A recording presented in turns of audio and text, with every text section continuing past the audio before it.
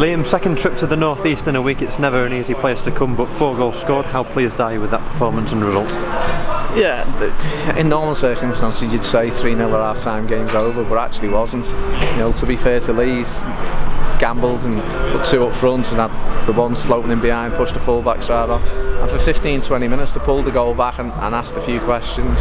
Uh, we got a nice goal off a set piece, which is really, you know, especially away moments important. Uh, and then we sort of like killed the game off. Um, I thought some of the football we played in the first half was very, very good, especially down the right. The goals, great goals, absolutely really well worked team goals. Uh, you know, had to make a change, which is a shame because I thought Marcus was was going to get sent off.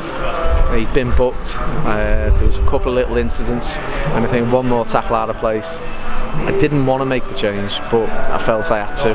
Um, he come off, Rao went on. Uh, no, but we lost the shape a little bit. Uh, but then Charlie Oliver come back on and got us the shape back. Uh, I thought he was very impressive when he come on. Uh, really good work ethic throughout the team, especially on the back of a tough week if you take into account the pitch was heavy on Tuesday night. Trip to the northeast last week to a heavy pitch, and then back up here again tonight. So we couldn't have asked more for the lads. So uh, you know, got ourselves in a position now. We keep on saying we get nine more wins. that's your us in the playoffs. So what's that? Halfway through this, the campaign, I think. What did we say? 35. We could get anywhere near 35. So we're on 37. So we're just we're over where we, we set out our half, halfway point. So you know, it'd be nice if we can get nine wins and get them as quickly as possible and then see where it takes us. You mentioned about the quality of the goals, and if you look back over the past few weeks, there have been some really good uh, team goals, well worked goals. Is that a sign of the confidence, do you think, in the team? Is that a sign of how the team's evolving? I actually think we've got good players. Uh, I don't look at anyone and say, technically, isn't good on the ball. You know, you, you look at the goal, the ball's ends put in for the first. You know, that's top draw, and then the, the bit of play for the third. You know, everyone knows David Morgan is as influential as any player in this league. You know, he's got the second, he's made the third. Um, but, you know, we've had some teams who actually man marked him, and I actually don't mind when he's man marked. I said because it actually frees Devan and Brad up, which happened the other day. And once once them two, as, as much as you man mark people, you know, you can't stop them running into the box. So then you know, you want to stop him getting on the ball, that's fine. Let the others get on it, and then Mose can find his way into the box and get a goal. So, yeah, I'm pleased. Brad and Jack among the goals today, and they've been on the score sheet um, quite a few times in the past couple of weeks. Uh, two players are always putting a real shift, and it's good to see them rewarded with a couple of goals lately, isn't it? Well, I think both of them got a, a like an unfair bit of criticism earlier on the season that they weren't doing this, they weren't doing that. But you got to remember, Samo was actually played through a lot of the season with shingles. Shingles zaps you. So to actually do that, you know, and come through, and he wasn't scoring. I said, but when he doesn't, when he's not on the team, we're nowhere near as effective. I said, we're scoring now. Brad again. He had a long spell before he got a goal. He got a little tap in against someone the other week, didn't he? And then, and then got on a run the heads against Cole. Uh, scored a great strike the other day. So, you know, as I said, the, the two big, big players, and that's why I stayed loyal to them. And you know, people were saying. You know, let leave them out, put them whatever. I said, as long as they work hard and they, and they give us what they get, they, yeah, I'm not leaving them out.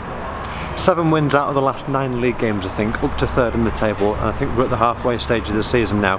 look back over the first half of the season and approaching the busy Christmas period, um, how would you assess the state of play at the moment? Uh, I actually think we, we, had a good start. Obviously, the you know the sale of Dion did set us back. Um, set us back in terms of how we, we set out to play because we worked all pre-season in, you know let's face it he's gone into League One has got has already got eight goals so for us to have a technically speaking a League One striker in our in our ranks you know you've got to utilise it uh, and I said he moves on after two games so we've had to change the shape of the team uh, a little bit of change in personnel uh, there's more to come. There's more to come from Connor Woods. There's more to come from Charlie Oliver. There's more to Regan's got to be back at, imminently. Uh, said you never get anything other than 100% off Raul. Um, so yeah, we're, in, we're in a good place. In a good place. So we just need to keep on working extremely hard and doing the right things and grinding out, and we can grind out these nine wins and see where we are. Uh, Brad left the pitch with a knock. How's he? He's just a dead leg, but he, you know, to be honest, that was from Tuesday night. Uh, he wanted to play, which is, says a lot. Uh, but then he, he's gone challenged for a head and got it right on the same spot. But he'll be fine for Boxing Day.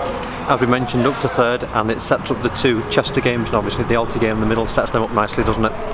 Well, it's like anything, you know. I, if we beat Chester, we get three points. If we beat Blyth, we get three points. If we lose to Chester, we get, you know, what I mean. So every game, they're only worth the same. Doesn't matter who you play. You do know you're going to have different, difficult types of games against different teams. You know, but you look at the ones above us. You go Kings Lynn, uh, York, Chester, Brackley, Spennymoor, Boston. I think they're the ones everyone would expect to be where they are. So, you know, you'll never, we'll never get any easy games off them, but we're just want to make sure they don't get an easy game of us neither. And just finally a word on the fans, two long trips in two weeks, especially at this time of year. Good to see them here today in good voice and good number. Unbelievable. As I said, I said the other night, you know, they've been great, they've been a credit to us, credit to the club. Uh, really appreciate it because we do need it and uh, especially when you, you're going into the latter stages and, and you're having a, a, few tired legs out there it does go a long way. And you know just hope everyone has a, a lovely Christmas and turns up on Boxing Day gets behind us and we can get, try and get three points. Well done today. Thank you